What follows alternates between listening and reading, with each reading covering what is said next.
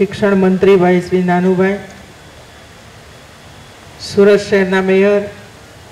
ભાઈ શ્રી નિરંજનભાઈ